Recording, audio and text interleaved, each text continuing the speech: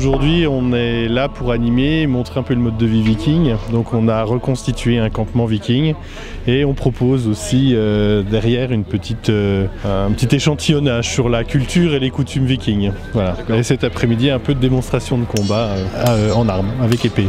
D'accord. Vous ferez aussi des démonstrations pour les gens qui vont venir Les gens pourront essayer aussi Il y a des initiations prévues aussi bien au niveau de l'escrime sportif que de l'escrime artistique.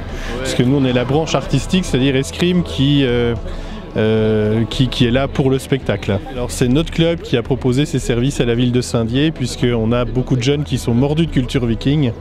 Donc c'était pour nous l'occasion de montrer qu'on était là et qu'on existait aussi. Ce sont des costumes qui sont des répliques de costumes d'époque et sont fabriqués par les membres de, l'association.